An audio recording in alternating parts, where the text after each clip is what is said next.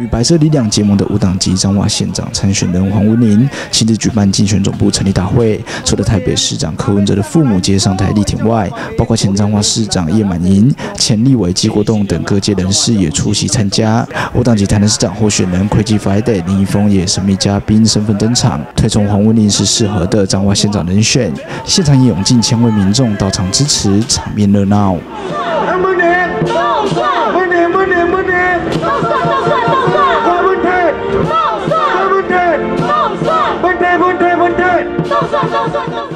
会中林一峰表示：“黄文林这馆长出来宣布哦，伊确实甲别人无同，甲我雷同性只有九十趴啊，所以我感觉中华一定要有这个，啊，咱甲拿掉哦，放两边，经济摆中间。啊，因为我看法就是讲，目前不管拿掉，只管下掉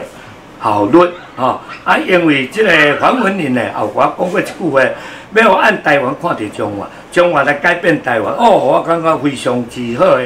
来选举人员，所以我今仔日来感觉讲来这来这这啦，来来来这来徛台的，我感觉是我的英雄，啊是咱全国的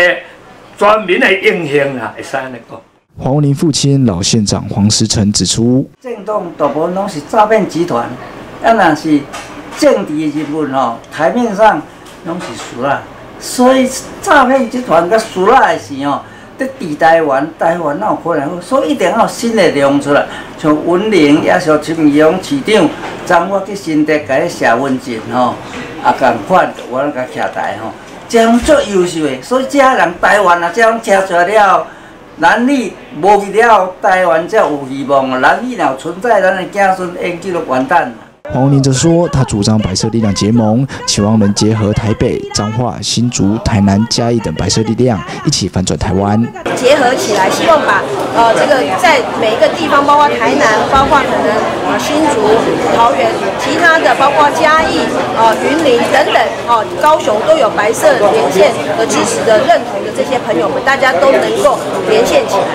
中华跟台南 back crazy 连线来了哈，所以我们希望说让彰化的年。年轻人都能够返回来这个彰化哈，来来来就业，然后有这个好的薪水，有好的工作条件，工作的这个机会。黄文林上届参选县长落败，这次卷土重来力拼胜选，获台北市长柯文哲父母支持，希望能在蓝绿阵营外以白色力量脱颖而出，号召选民选出不一样的县长。